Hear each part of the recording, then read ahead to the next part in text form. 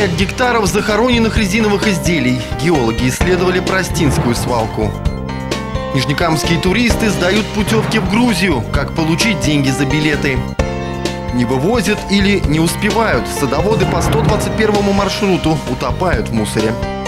От Кореи до Карелии через Нижнекамскую пожарную. Наш город стал 616-м для амбициозного путешественника. Встреча с лидерами, как нефтехимик сыграл с футболистами из Бугульмы.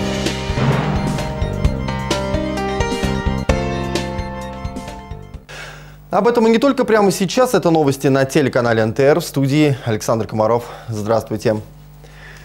Геологи обследовали Простинскую свалку. Специалистов из Чебоксар масштабы загрязнения поразили. 35 гектаров резинотехнических изделий не только на поверхности, но еще и под землей. Обследование территории – это первый этап рекультивации. Алсу Арсланова продолжит тему.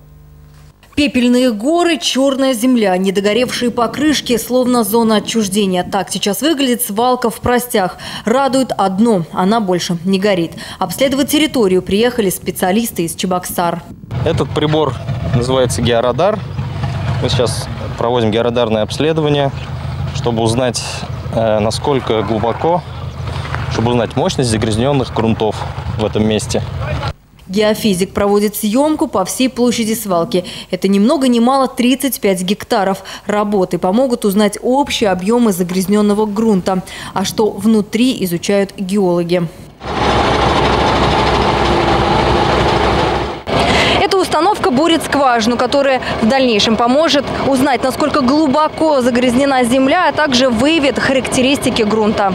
За эти пять дней мы пробурили ну, практически э, по всей территории этой свалки, и масштабы загрязнения колоссальные.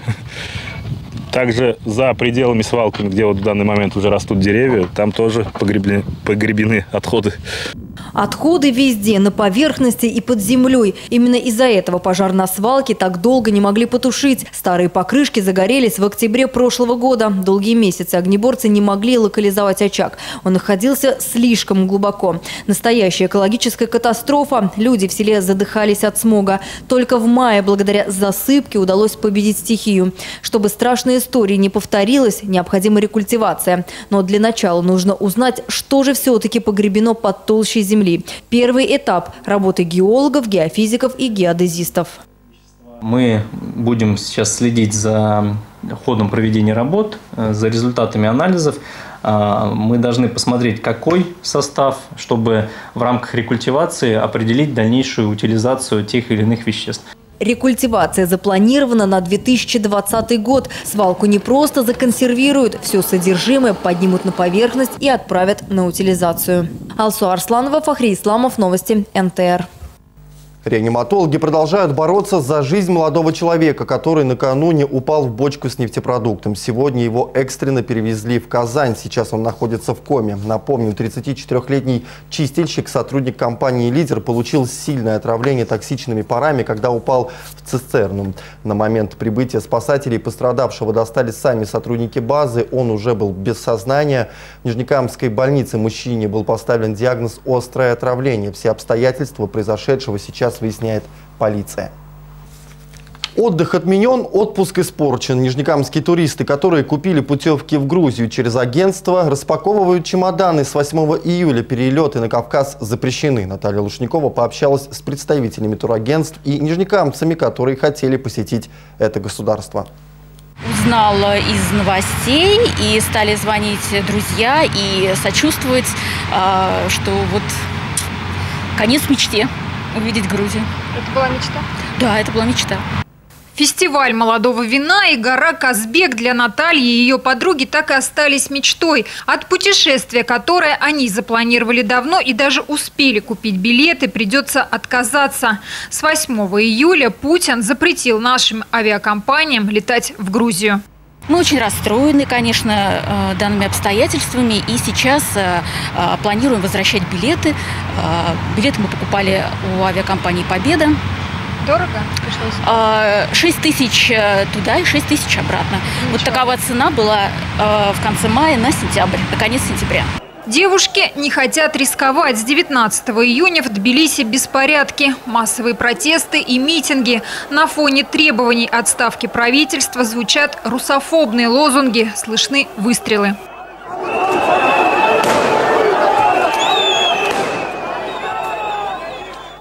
Между тем, по данным Ростуризма, из российских путешественников приходится примерно пятая часть от всего турпотока в Грузию. Вывод – если скандал не утихнет, турсезон в Грузии будет сломан. Пострадает, конечно, потому что уменьшится поток туристов, и э, принимающие компании, и туристические компании, непосредственно работающие в этой стране, которые организуют экскурсии, которые э, работают непосредственно с туристами там на месте, они тоже потеряют какой-то поток клиентов, поток туристов, и я думаю, что тоже понесут убытки.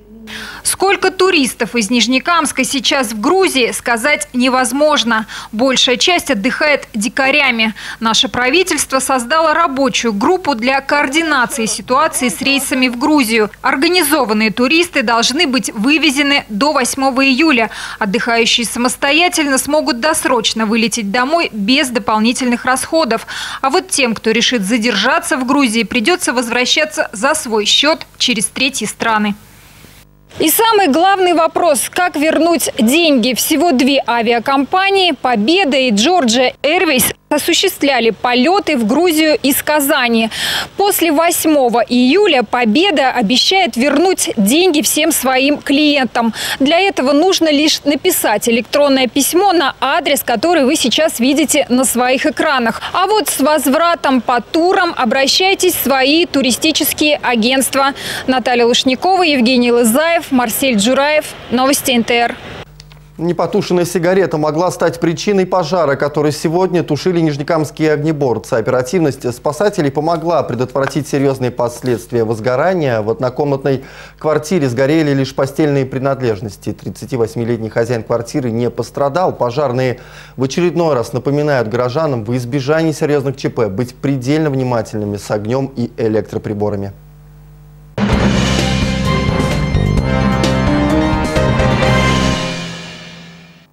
Наша телекомпания и Русфонд продолжают благотворительный проект в помощь тяжелобольным детям. Сегодня история двухлетнего Вани Забелина из Альметьевска. У мальчика ДЦП. Ему требуется вертикализатор и коляска для прогулок. Молодец, давай. Вот, ну-ка скажи, занимаемся. Эти упражнения даются двухлетнему Ване с особым трудом. Ему сложно держать голову и переворачиваться. Мальчик родился в ДРКБ раньше срока. Через два месяца врачи выписали его домой. Отставание в физическом развитии родители заметили лишь через год. Диагноз ДЦП. Малыши уже на ножки встают, опору. Опору он не делал. Он переворачивается, вот только начинает у меня переворачиваться.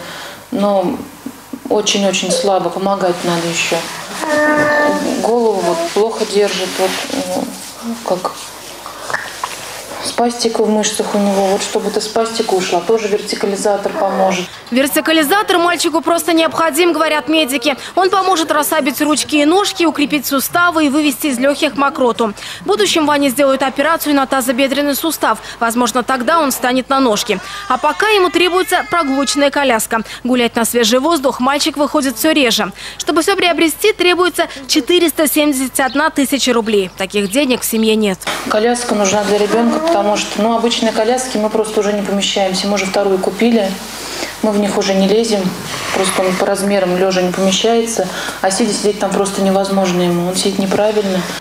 Дома Ваня увлекается музыкой, очень любит русские народные песни. Помочь ему хотя бы чаще выходить на улицу можем мы с вами, отправив смс со словом «Дети» на номер 5542. Стоимость сообщения 75 рублей. Как внести больший вклад, можно узнать на сайте нашей телекомпании и Русфонда. Смрад и зловоние на всю округу. На площадке в Садовом массиве по 121 маршруту стоят 4 контейнера для сбора мусора. И каждый день они оказываются переполненными. Первое, что приходит на ум, не вывозят, но на самом деле не успевает. В причинах коллапса разбиралась наша съемочная группа. Таскают тут, не знаю чего. А вы как долго вот это убираете? Каждый день Тракторист не лукавит. Мусорную площадку по 121 маршруту убирают ежедневно. День сегодняшний не исключение, вот только техника подвела. Колесо пробито осколком бутылки. Уборка затягивается, мусорный поток не иссякает, отвратительный запах усиливается, садоводы разводят руками. Быстро наполняется почему-то. Убирают, убирают мусор. Часто убираются. Часто? Это вот у вас первый раз такое? Да нет, не первый раз. Утром идешь чистым чисто. Уже, например, на три часа выходишь, млям нам. Опять увозят. То есть за три часа собирается? Да. Три часа и площадка снова тонет в мусоре. Аномальная зона? Отчасти. Сюда несут отходы сразу с четырех садоводческих товариществ. Нефтехимик, шинник, спутник, индустрия. Это более трех тысяч дач. Четыре контейнера с такой нагрузкой просто не справляются. Этой проблеме не первый год. Сейчас ее пытается решить региональный оператор Гринта. График пересмотрели, сделав вывоз ежедневным. Подняли вопрос и по контейнерам. Обязанность по созданию и содержанию контейнерных площадок возлагается на органы местного самоуправления или собственников земельного участка. Тоже касается и оборудования площадок контейнерами. Гринта также работает над проблемой этой площадки. Рассматривается несколько вариантов по ее решению. Пока же мы просим садоводов быть аккуратнее при складировании отходов в контейнеры, дабы не захламлять площадку. Имеется в виду крупногабаритный мусор – мебель, оконные рамы, двери, обрезанные ветки деревьев. Контейнеры для подобных отходов не предназначены, быстро засоряются.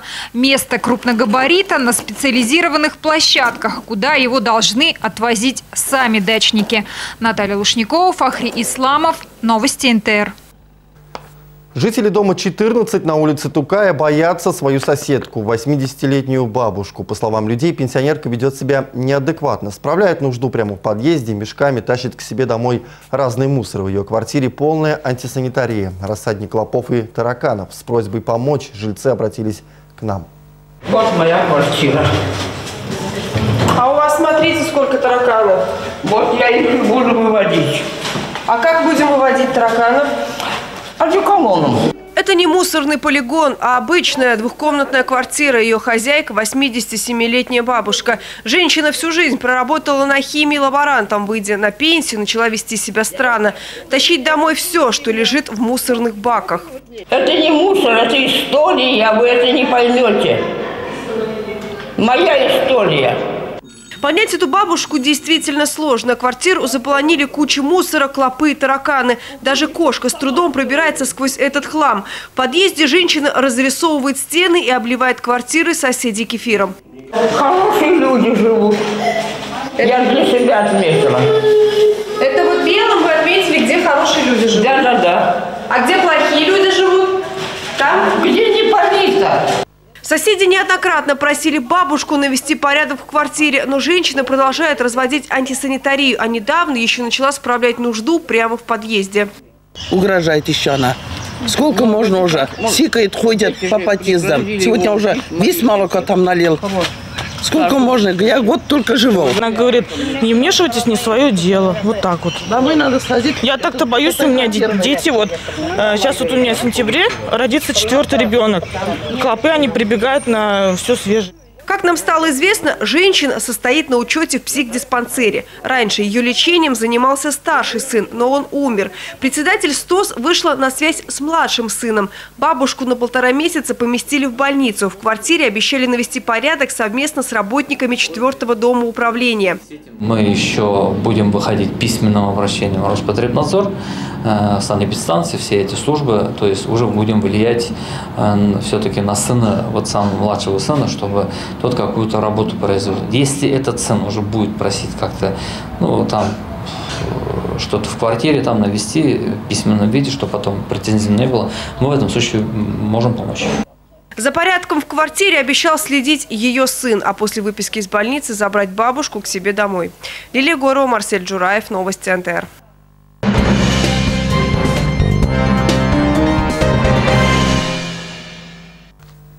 Что делать, если учитель собирает деньги у родителей в канун своего дня рождения? И считается ли подкупом букет цветов на экзамене для преподавателя? На эти и другие вопросы, посвященные коррупции, отвечали сегодня дети из лагеря Зенгеркуль. К ним приехали кураторы Республиканской молодежной антикоррупционной программы. Знают ли нижнекамские дети, что такое коррупция? В сюжете далее. Мы без взятки проживем, на зарплату мы живем. Антикоррупционные лозунги звучат из уст детей. Ребята знают, что взятка – это плохо, но пока не до конца понимают, что это такое. А это когда люди просят у других деньги за... Ну, э, просят деньги и потом не возвращают. Взятка – это незаконное действие, сделанное за деньги. Ну, как бы тебе предлагают деньги, чтобы сделать незаконное действие. Это когда тебе дают деньги, и ты незаконно их тратишь. Взятка – это когда ты берешь у кого-то деньги, ну, для работы, и потом ты их возвращаешь, если ты не мошенник. Это просто незаконное дело, то есть ты можешь дать за план учебы деньги, чтобы тебя взяли, ну, если ты плохо учишься. Рассказать детям о том, что такое коррупция и как с ней бороться, в Нижнекамск приехали участники республиканской молодежной программы «Не дать не взять». Девушки провели интеллектуальную игру «Вопросы», для которой взяли из практики. Классный руководитель седьмого класса собирает у детей деньги на подарок педагогу, который ведет у детей уроки в этом классе. Учитель не может брать деньги с учеников. Не имеет права. За эти полчаса дети узнали много нового, разобрали несколько ситуаций жизни, высказали свое мнение. Мы делаем задания так, чтобы они не то чтобы знали или не знали, мы проверяем, а чтобы они узнали, что такое коррупция. То есть вопросы специально подводятся так, что мы мельком затрагиваем эту тему, но фактически они выходят уже с полным пониманием этого термина. Команда, ответившая на самое большое количество вопросов, получила диплом и памятный приз. После детского лагеря гости из Казани отправятся в молодежный центр, а уже завтра в Тетюшский район, где тоже расскажут детям о том, что коррупция – это плохо. Лилия Горов, Ахри Исламов, новости НТР. Ну вот перейдем от игр на тему коррупции к серьезным мерам. Нижнекамцы могут рассказать о коррупции в сфере ЖКХ. Завтра по этой теме э, начнет работать республиканская горячая линия. Номер сейчас вы видите на экране. Прием заявок э, с 11 до 16 часов. Э, в это же время 26 июня в Казани начнется прием граждан. Он пройдет по адресу улица Батурина, дом 7А, кабинет 136. Известный путешественник Иван Ширяев посетил Нижнекамск в рамках своего авторского проекта «От Кореи до Карелии». Наш город стал 616-м в его списке. Уже седьмой год 32-летний мужчина колесит автостопом по всей России. В планах посетить более тысячи городов нашей страны. О том, как проходит длинное странствие, в сюжете далее. Необходимые вещи, еда и фотоаппарат. Иван Ширяев путешествует с одним рюкзаком. Он колесит по всей России. Нижнекам стал 616-м городом по счету. Доказательство визита – вот этот блокнот. 32-летний мужчина ставит печать в каждом городе, где побывал. Останавливается турист в пожарных частях. Протоптать эту дорогу помог случай, правда, несчастный. Началась моя дружба с МЧС в Магаданской области пять лет назад, когда я чуть не утонул в горной речке. Тогда я впервые побывал внутри пожарной части и завязались такие близкие отношения с чрезвычайным ведомством. Свой проект «От Кореи до Карелии» Иван Ширяев начал осуществлять 7 лет назад. Путешествует он исключительно автостопом. Бесплатно или за интересную историю. Таких у мужчины много. Среди пройденных мест на карте – Дагестан, Сибирь, Урал, Киров. В каждом городе новые люди и места. Впечатлениями он охотно делится в социальных сетях. С каждым городом я стараюсь познакомиться, узнать о его истории, о его особенностях. Не торопясь прохожу с фотоаппаратом и по центру города, и по основным достопримечательностям, и по окраинам, и по заброшенным объектам, и по кладбищам, чтобы город рассмотреть с разных сторон и больше узнать о нем. На его интернет-страничке уже есть фотографии Нижнекамска. Спонсоров у Ивана нет, он обеспечивает себя сам. Каждый день путешественник идет к поставленной цели – посетить 1122 города. А когда член Русского географического общества объедет всю страну, он планирует написать книгу. В ней он подробно расскажет, какая она на самом деле Россия-матушка. Альбина Валиева, Евгений Лызаев, Новости НТР. Выбрали главного батыра, бегали в мешках, пели и танцевали. В 75-м детском саду прошел свой Сабантуй. Праздник плуга здесь проводят традиционно в начале лета. Мероприятие удивляет своим масштабом. В этом убедилась и моя коллега Анастасия Шакирова. Кружится, кружится наш Задорные танцы и песни. Пролог детского сабантуя отличает искренняя детская непосредственность. Зрители здесь не стоят на месте. Да,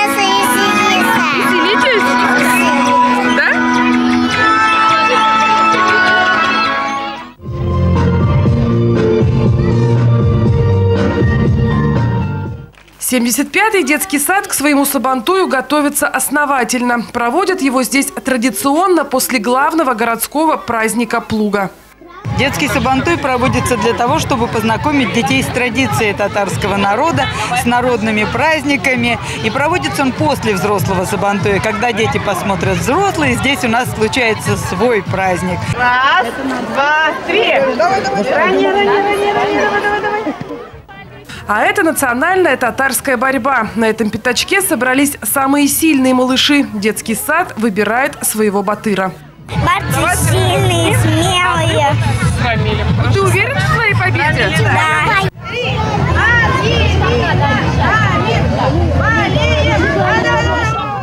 Бег в мешках, конкурс «Перенеси яйцо», битье горшков. Традиционных состязаний Сабантуя было много. После каждого детей щедро одаривали подарками. Это праздник, когда вот все дети веселятся а, и всем дарят подарки в конкурсах. Это праздник,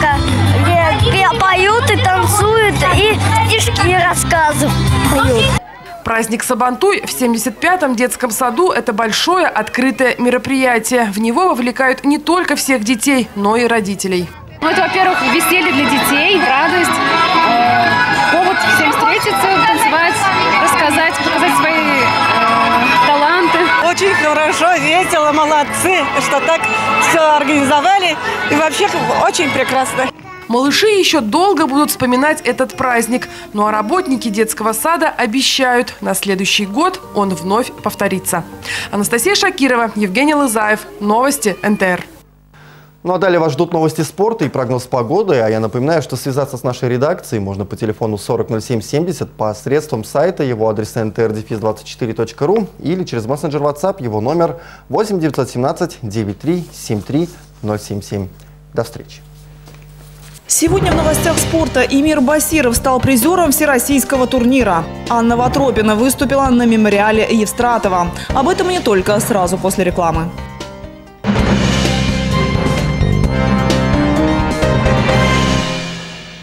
Автоцентр марка Nissan на Чуйкова заявляет, назначайте свою цену на новый Nissan. Скидка 280 тысяч не предел. Звоните 4 пятерки 3 единицы. На предприятие шинного комплекса Кама Тайрс требуется токари 4-6 разрядов, фрезеровщики 4-6 разрядов, электромонтеры 4-6 разрядов, слесари-ремонтники 4-6 разрядов, наличие документа о квалификации, официальное трудоустройство, жилье. 8 3 пятерки 24 12 70. Триумф НК 3 месяца 15%, 6 месяцев 17%, 9 месяцев 19%, 12 месяцев 23% годовых, 30, 80, 90.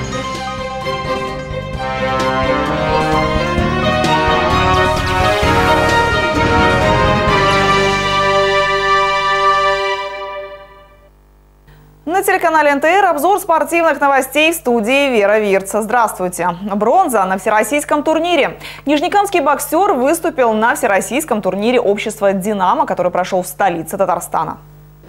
Представитель спортивного клуба «Нефтехимик» Эмир Басиров в весе 64 килограмма в предварительном поединке одержал победу над Александром Галиаскаровым из Удмуртии и вышел в полуфинал. Бой нижнекамца с Григорием Лизуненко за выход в финал был остановлен во втором раунде из-за рассечения у Эмира.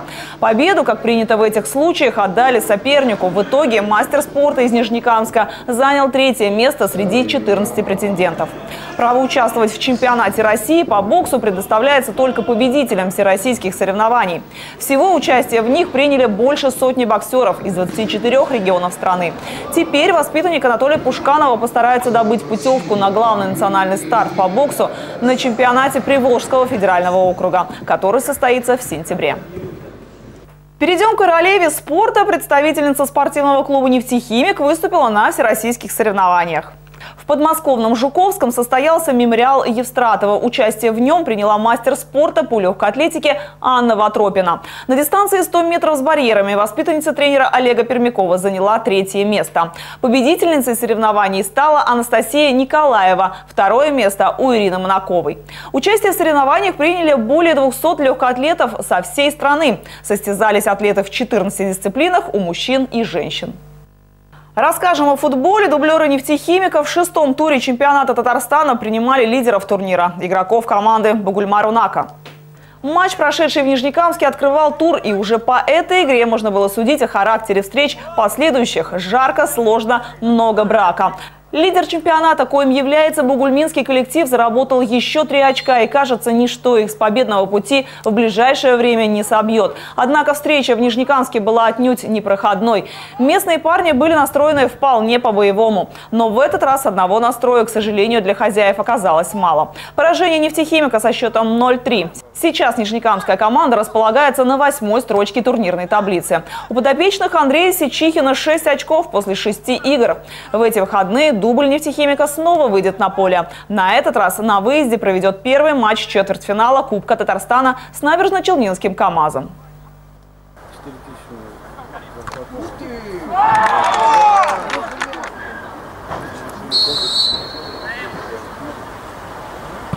Я говорю, не выпустить. Я говорю, не выпустить.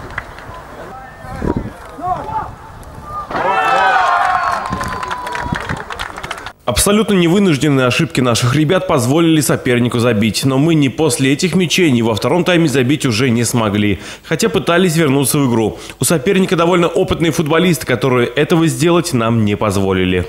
Ну а завершим выпуск около хоккейной новостью. Экс-форвард нефтехимика объявила завершение хоккейной карьеры. Это решение принял Максим Якуценя. В составе нижнекамской команды местным болельщикам нападающий запомнился яркой игрой, когда выходил на лед в джерси нефтехимика в сезонах с 2009 по 2011. Якуцени играл в свитере с логотипом нефтехимика в 114 матчах и набрал в них 74 очка. Максим Якуцени входит в топ-100 снайперов отечественных чемпионатов. На счету нападающего 190 забитых голов на высшем уровне. За 618 матчей в КХЛ он набрал 310 очков. Среди достижений игрока бронзовые медали чемпионата России 2007 года, Кубок континента 2012, бронза Кубка Гагарина 2012 года, серебряные медали Кубка Гагарина 2013 2017 и бронза Кубка Гагарина 2018. Кроме того, Максим Якуцени является двукратным обладателем премии КХЛ «Железный человек». Последним клубом 38-летнего нападающего стал словацкий Детва. На сегодня у меня все. Смотрите далее в эфире НТР «Прогноз погоды». Я же с вами прощаюсь и напоминаю, что связаться с нашей редакцией можно по телефону 40 0770, а также посредством нашего сайта ntrdefis24.ru. До встречи в эфире. Спонсор прогноза погоды – магазин «Технорай». Внимание, внимание! Татарстан переходит на цифровое эфирное вещание. А чтобы смотреть свои любимые программы, нужна приставка. Покупайте приставки и антенны в магазинах Технорай. Цены от 990 рублей. Объясним. Настроим. Научим.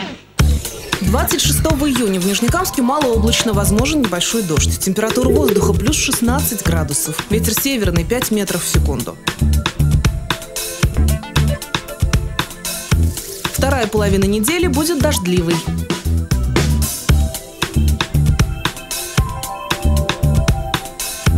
Спонсор